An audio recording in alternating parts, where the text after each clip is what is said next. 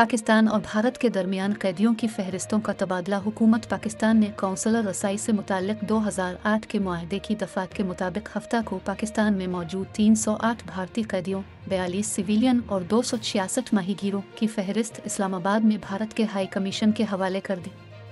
दफ्तर खारजा की तर्जुमान की जानब से जारी बयान के मुताबिक भारतीय हुकूमत ने भारतीय जेलों में कैद पाकिस्तानियों की फहरिस्त नई दिल्ली में पाकिस्तानी हाई कमीशन के हवाले कर दी।